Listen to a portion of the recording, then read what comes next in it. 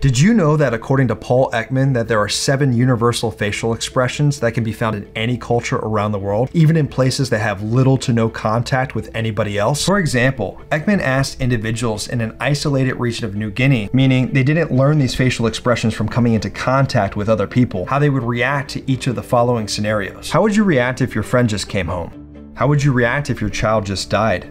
How would you react if you were about to get into a fight? And what's really cool is that pretty much anyone from around the world can tell what emotions these individuals are feeling in each of these scenarios because the facial expressions they are using are universal. But it's also important to understand that not all facial expressions are universal. Some facial expressions are unique to different cultures or regions, but that's a story for a different time. So, can you guess what the seven universal facial expressions are? Well, to help you out, I'm gonna show you seven different images of seven different people.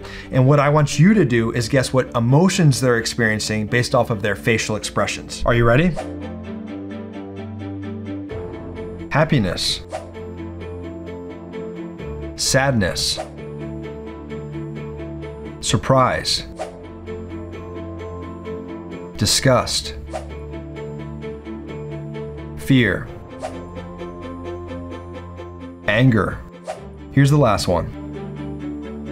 Contempt. So how many of Ekman's universal facial expressions did you get right? Let me know in the comments.